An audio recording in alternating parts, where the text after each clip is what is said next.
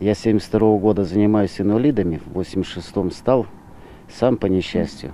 Был несколько лет парализованный, инсульты, инфаркты и прочее. И глядя на инвалидов, которые получат инвалидность, или вот люди старшего поколения, как мы, золотой век, 60, ну, ленивый такой образ жизни, они сами себя убивают, это однозначно.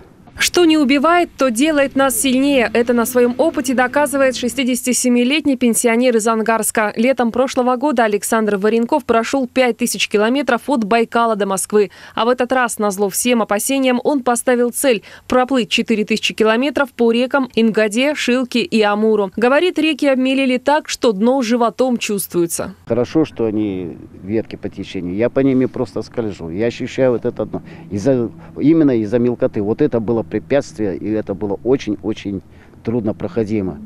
Течение раздваивается. Прижим вправо, через 5 метров влево. Баул у меня тянет сюда, мне надо туда. Каждый день пенсионер проводит по 10 часов в воде, ночует на берегу, а утром снова в дорогу. В города и деревни заходит пополнить запасы. В багаже спортсмена водолазный костюм, сменная одежда да продукты на несколько дней. Все упаковывает в непроницаемый мешок и плывет по течению. Что интересно, животные, которые встречаются по пути, его не замечают. Заяц на, на что трусливое существо выскочил. Мне рукой до, до- до него дотянуться, я притормозил ноги вперед. Он ноль внимания на меня попил и, убежал. Медведица стояли, купались, я думал, может подплывут, там поздороваемся, но они около бережка, я ну, метров 20 от них.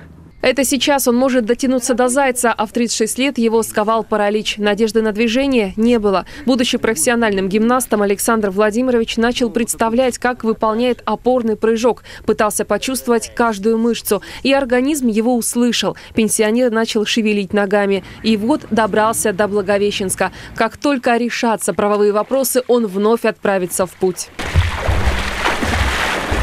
Своим походом он хочет доказать врачам, что полностью парализованный человек может встать на ноги и сделать даже больше, чем здоровый. А уставшим от болезней людям напомнить, что жизнь на самом деле в движении. Мариана Геворкян, Константин Волков, Амурское областное телевидение.